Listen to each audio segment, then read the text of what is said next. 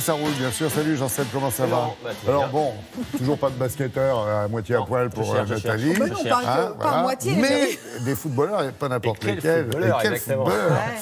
Franck Ribéry, dites donc. Ouais. On, on- on savait qu'il avait encore de, de- de belles journées, euh, euh, de belles Bon, carrières. ouais. Ouais, Écoutez, en tout cas, il a encore envie de jouer, Franck Ribéry, puisque euh, bon, il a Ouais, 36 ans, je crois, hein, 36 ans. Bon, c'est vrai Ouais. que c'est pas tout jeune pour un footballeur. Non, c'est pas tout jeune, mais Ah oui.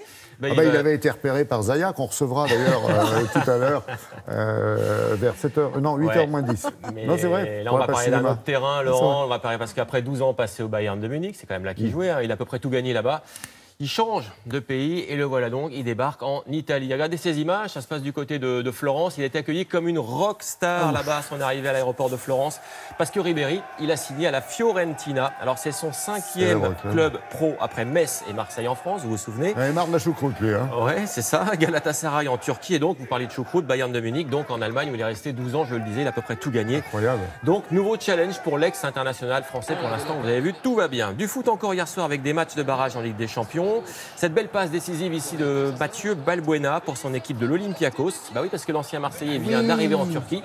Et voilà, belle entrée pour le Balbuena qu'on voit ici à l'image. Lève les bras pour qu'on le voit. C'est ça, l'Olympiakos qui l'a emporté donc 4-0 dans ce match et donc euh, contre Krasnodar, ce sont des Russes. Belle perf donc de Ah. Valbuena et belle option pour euh, son équipe de l'Olympiakos. Autre Français hier soir dans ces matchs de barrage de Ligue des Champions, eh bien c'est Guillaume O'Haraud. Lui, c'est un ancien Parisien. Lui. Vous vous souvenez, il joue au PSG. Guillaume. O'Haraud. Bah, c'est bien, ça fait plaisir. En tout cas, lui, il a égalisé avec euh, ce penalty ici pour les Suisses des Young Bernds. Il jouait contre l'Étal Rouge de Belgrade. Score final 2-2. Là, ça va être plus compliqué. Vous l'avez compris. il vient d'arriver là-bas, lui Non, il vient pas d'arriver là-bas, mais en tout cas, il poursuit sa carrière là-bas. Et donc, hier soir, il a contribué au match nul de son équipe. Notez qu'évidemment que le PSG, que Lille et que Lyon, eux, sont déjà qualifiés pour les phases de poule de cette Ligue des Champions qui débute début septembre. On va dire la, la vraie compète, là. Il y a des footballeurs qui euh, changent de club et il y a des pilotes de F1 qui changent de décor. Quand Ouais. ils sont dans le décor, en général, c'est Ah, dangereux. C'est mais dangereux, là, c'est trop non. tard déjà. Ouais. Ouais. Là, on va parler de Fernando Alonso, c'est ça? Ben Ouais. oui. Pourquoi? Bah, Parce qu'il va participer, figurez-vous, au prochain Dakar. Alors, euh, le Dakar qui va se dérouler en Arabie Saoudite cette fois. Vous savez, c'était euh, en Amérique C'est du Sud. compliqué, hein, cette carte du monde qui n'arrête pas de changer. Tout sauf l'Afrique, en tout cas. Ouais, c'est Pourquoi ça, ça. s'appelle Bah Dakar, ouais, encore, vous me direz. Bon, c'est une situation, appellation. hein. Euh, le pilote espagnol, toujours est-il, qui en ce moment même, là, il prend ses marques en Namibie, donc en Afrique. Là, pour le Ouais. coup, c'est l'Afrique. Regardez ces images de test. Euh, le voici, Fernando Alonso, au volant de son 4x4, donc Toyota. C'est avec cette équipe qui va effectuer euh, eh bien, ces tests et avec ce- cette équipe qui va s'engager.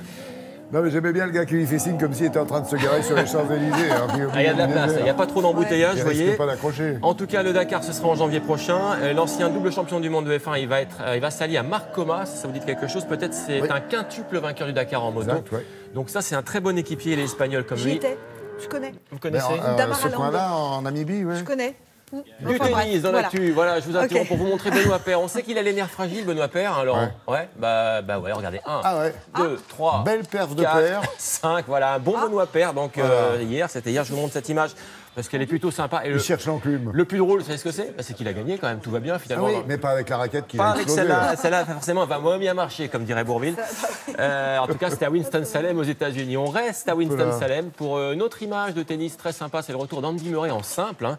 Euh, Andy Murray qui fait son comeback après une opération à la hanche. Ça, C'était en janvier dernier.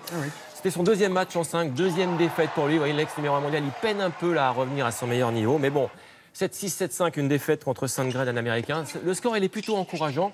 Bon, quand même, Murray, il a fait savoir qu'il ne serait pas à l'US Open qui débute lundi. Il a Oui, bah, besoin de. qu'il aille voilà. doucement, hein, comme Kili. Allez, du vélo avec euh, le Tour du Limousin, victoire de Lilian Calmejane dans la première étape. Ça Bien se passe ça. dans les rues de Guéret, donc ça c'est un Français, c'est plutôt pas mal. Il est dans l'équipe euh, Direct Énergie et il est donc leader au général avec 9 secondes coureur, d'avance sur bon l'Espagnol. Ouais, c'est bien ouais. Lilian Calmejane. C'est un Espagnol qui s'appelle Aristi.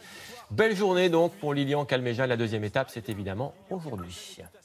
Parfait. Et puis, euh, peut-être dire un petit mot de- des- des championnats d'escalade, des championnats Ouais, du monde. parce qu'on en en ce moment. ça se hein. passe au Japon. Et ce qui est sympa avec ce mondial, c'est qu'il est qualificatif pour les JO de Tokyo euh, qui se dérouleront euh, l'été prochain, hein, 2020 bien évidemment.